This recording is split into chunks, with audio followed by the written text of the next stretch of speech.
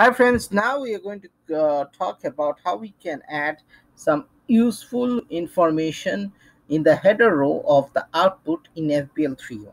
So FBL3N most of you all use if you are on the GL side, okay.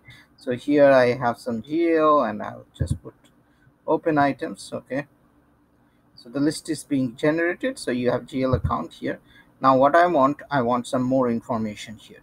So what i go settings and i go to layout i will current header row and here i'll just put suppose let me see what i want to add. So i'll click create characteristics and let's see what is there. So you have accounting group company code uh, we have company code here already. So we don't need company code. Let's see. Something very important probably we can give tax group trading partner valuation group you know account currency. Well we can probably we can give chart of accounts okay?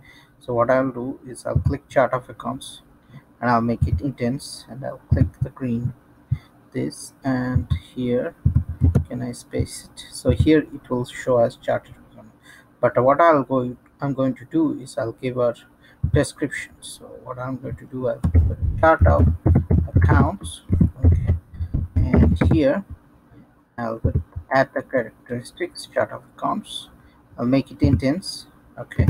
And I hope it has a chart of accounts now here we'll say save yes?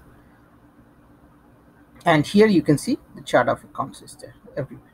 Wonderful isn't it?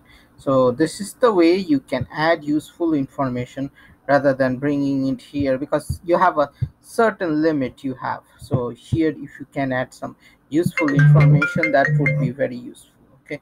So that's that would be great okay? So this covers everything how we can do uh, add useful information in the header row in FBL 3 stay tuned to my SAP channel and happy SAP learning and have a great day